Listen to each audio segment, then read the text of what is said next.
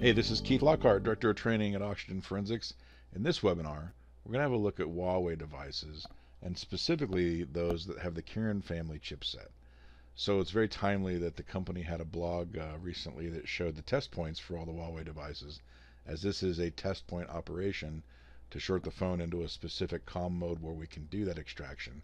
We just want to take a look at the system on chip of Kirin and the process of identifying those test points, working the extraction, and then then the most important part is brute forcing offline the password, the secure screen password, because we'll need that to decrypt the blob after we extract it. So that's kind of our goal as we look through these points. We're going to go through the process, and I just kind of set up a screen here where we can look at my Honor 10 and work through things and see how they turn out for us. So I think we're up to 134 devices at this point with the 659, 710, 710F, 810, 960, 70, 80, 90, and 995G chipsets. But most importantly here, I'm, I'm turning on my Honor and look to see that there's a pin here. So the lot code is 123456 and the whole purpose of that demonstration is to know we have one because that is going to be imperative when it comes to demonstrating the whole let's offline attack that password. We got to have it. I mean, that with the key metadata is what lets us get in decrypt our blob after we extract it. So that's super important. So this is a test point operation, which means we have to get into the phone for sure. Um, I've cheated. I've already taken my fantastic heat gun and extricated the back of the phone. I've also uh, cheated to the effect of remove some of the chassis holder pieces. I've already extracted the camera. Things are going to help me uh, get to this a little more easily. I'm surprised I didn't have a rubber band around it. Um, however, for our exercise, not only are we going to use uh, our blog, which shows the test point we'll need to short, I want to have uh, the extractor open so we can navigate to the specific phone in the list. Again, this is the Honor 10. And we'll bring up the device manager so we can see when the phone is shorted appropriately and we insert the USB cable while it's being shorted, it is recognized in Device Manager as that COM port will need it to be for our extraction. So I'm going to navigate to my phone in the list inside Extractor. But first we're going to use the blog article to find the test point for the Honor 10, though at which point we should be shorting uh, to get the phone into COM mode. So if I scroll down here, I can find, uh, there it is. Now, that's the point and it's kind of right under where the camera would have been and the ribbon cable for the camera. So giving the phone a turn to kind of line things up and a little bit of zoom, we can see that here's the test point in the blog and there's the test point on the phone. Right, and we can do a little couple of the comparisons to say, yeah, that looks like that. That cover looks the same. There's a screw hole there. I mean, we got the right device and the right point. I mean, I guess you could say that if you're not sparking up some points, you're not really trying.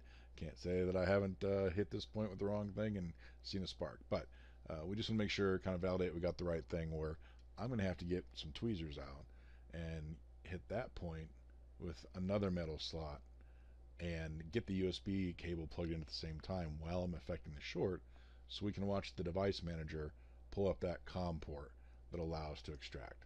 So the phone's upside down, um, better for the camera. There's my USB cable now I'm going to get crazy and grab some tweezers.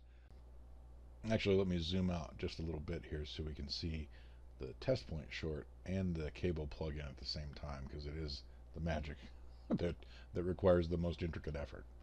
Okay, now let me scroll over in the list and find my phone and extractor. And we're going to take a look at the directions uh, for the device as extractor would have us perform them.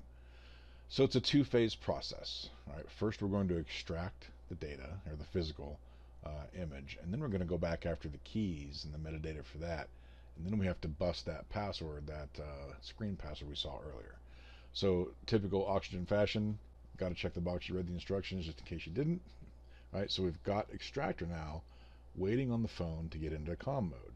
So here's me, tweezers in hand, cable in hand. Let's put one tweeze on the, one tweeze, I just made that up, one tweezer point on the test point, and one on the frame somewhere else while I plug in and without hearing the Windows doo-doo, you can watch the device manager anyway, recognize the device, and come up in our Huawei COM mode. That's what we want to see. Okay, so on top of that, if we look down at extractor, it is also now moved on to reading the bootloader of the device. This is also what we want to see. However, this will take a second, so I'm going to go ahead and talk through and fast forward.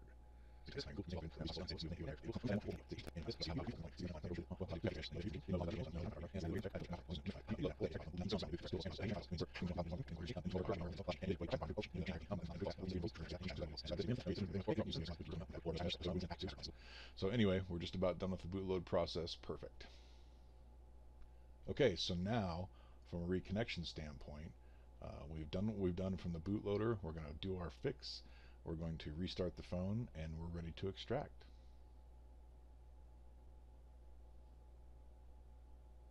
There we go. So I'm just going to change the uh, uh, extraction location and we'll extract. And once again, we'll go crazy for a long zoom to get to the end of that extraction process because that is where the super cool, I mean, it's all super cool, but that's where the super, super cool stuff starts.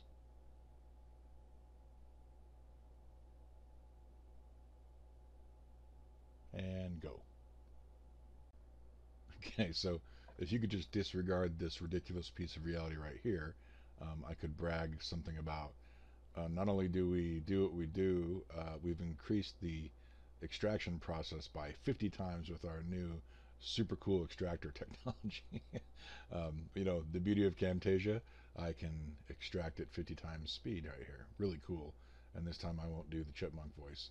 Um, but this will get us to the end. And the end is where, after the extracted blob, the encrypted extracted blob is sitting there, we're literally done with the phone. I mean, we can unhook it and move on because we're going to turn around and go back in there and determine key metadata that will help us salt our algorithm to break the password and go to town. So thus begins the search for the uh, ingredients for our potion, essentially, as we go searching the key metadata for those keys to the kingdom to decrypt our blob. We find that, and then comes the even super cooler part, where we engage Passware to do our brute force attack on that screen lock code I showed you in the beginning. So look, you can configure different dictionaries and password to run with multiple engines and go fast. We could start the thing right here. We could put a password in if we knew it, or we could modify the dictionaries we want to use for that attack. I happen to know it's a pin that's one uh, four to nine digits, so I'm just going to select that and cheat. But you saw it when we started the video. Literally, this will happen so fast that the program doesn't even register the fact it made an attack, but it will find it, and then I have to pause and focus on this exact frame to talk about its importance. So at this point, it knows the pin. It's finished. And it would have come up with this in that little window, but I'm bringing it to our attention because, folks, these are the keys to the kingdom that we just did offline, that you didn't have to ship away for someone to do for you. So we are taking a Huawei device with one of those chips in the Kirin family, doing an extraction, turning around with our secret sauce, finding the data from the key structure we need, incorporating the password we can break, and extracting the keys to decrypt that blob. That, my friends, is a new option for your toolbox. Okay, let's review. Remember, this is a Kirin family exploit. So 659, 710, 710F, 810, 960, 970, 980, 990, and the 5G variant of 990 are the family of chipset we're 134 devices into supporting right now. It is a test point operation, so the timeliness of the Oxygen blog showing all the test points uh, just kind of let this fall right into place behind it. And it was an operation where, if you recall in the beginning of the video, we have a pin code on this phone. This is file-based encryption. We need that pin code in conjunction with several other things to get what we want we can brute force that pin code with Passware in your detective suite already. That is the key. So this just leaves me with my final graphic. Listen, if you got the phone and it's not locked, get after it. I mean, you're ready to go. If it is locked, do you have the code, yes or no? Well, if you do have the code, enter it in the box and get after it.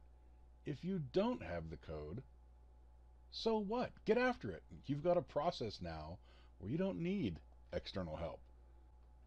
We want you to succeed in the house. Get that passware going, get that brute force attack against that pin going, and get after it. Okay, I hope this has been helpful. Keep on learning. We'll speak to you later.